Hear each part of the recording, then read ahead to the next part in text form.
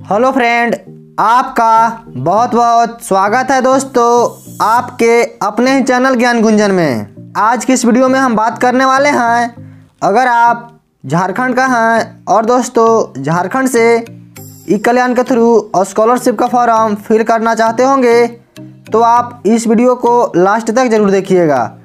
क्योंकि फ्रेंड, आज की इस वीडियो में हम बताने वाले हैं कि झारखंड में जो ई कल्याण के थ्रू स्कॉलरशिप का फॉर्म फिल हो रहा था उसका अप्लाई करने का डेट बढ़ गया है। और दोस्तों, साथ ही साथ इस वीडियो में हम आपको यह भी बताएँगे कि आपको स्कॉलरशिप अप्लाई करने के लिए क्या क्या डॉक्यूमेंट देना होगा और फ्रेंड कैसे अप्लाई करना होगा और इसका जो लास्ट डेट है, वो क्या है। तो अगर आप ये सब जानकारी को डिटेल्स में पाना चाहते हैं तो इस वीडियो को लास्ट तक ज़रूर देखिएगा। और अगर आप अपने चैनल पर न्यू आ रहे होंगे तो अपने चैनल को सब्सक्राइब करके बेल आइकन को प्रेस कर दीजिएगा। तो चलिए, आज की इस वीडियो को शुरू करते हैं। तो फ्रेंड, अभी आप यहाँ देख सकते हैं, हम अपना गूगल के क्रोम ब्राउज़र ओपन कर लिए हैं। सिंपली आपको गूगल के सर्च बार में टाइप कर लेना होगा ई कल्याण सही आप ई कल्याण टाइप कीजिएगा तो फिर कुछ उसका इंटरफेस आप लोग के सामने ऐसा शो होगा। यहाँ देख सकते हैं, आपको सिंपली फ़र्स्ट वाले लिंक पे क्लिक कर देना होगा। E Kalyan dot C double G dot G O V dot in आप ई कल्याण के ऑफिशियल वेबसाइट पे आ जाइएगा। इसका लिंक हम वीडियो के डिस्क्रिप्शन में दे देंगे।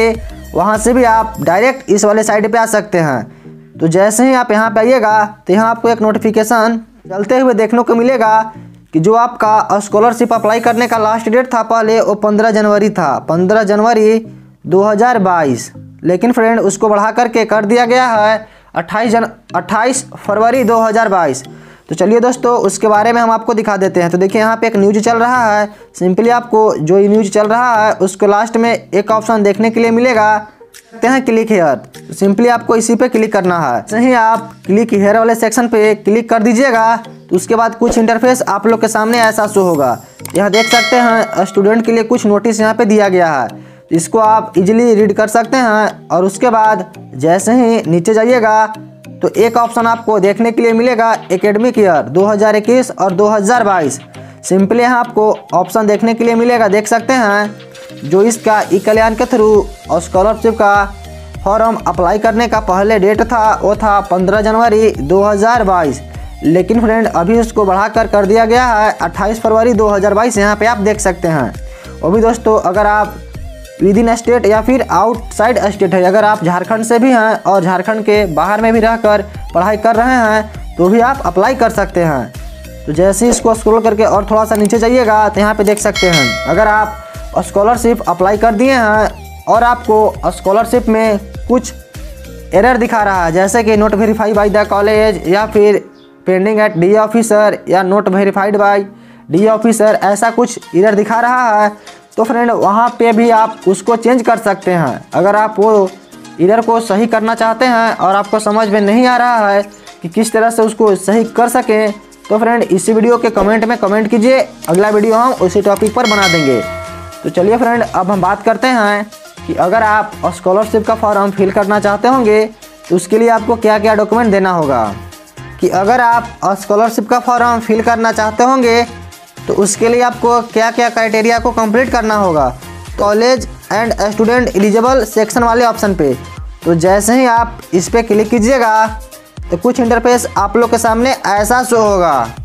तो आप यहाँ पे देख सकते हैं स्टूडेंट के लिए क्या क्या क्राइटेरिया होना चाहिए, वो सारा यहाँ पे मेंशन किया गया है। सिंपली आपको स्क्रॉल करके नीचे जाइएगा तो यहाँ पे देखिए आपको एक ऑप्शन देखने के लिए मिलेगा student must be of Jharkhand state यानी कि यह स्टूडेंट को झारखंड स्टेट का लोकल रेजिडेंशियल सर्टिफिकेट उसके पास होना चाहिए।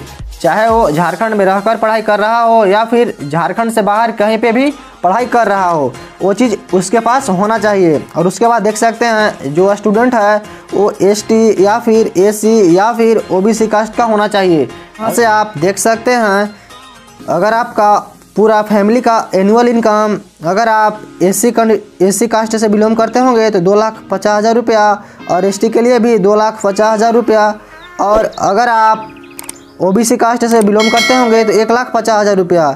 अगर आपका इनकम सर्टिफिकेट इस अमाउंट के अंदर में ही है, तभी आप स्कॉलरशिप के लिए अप्लाई कर सकते हैं।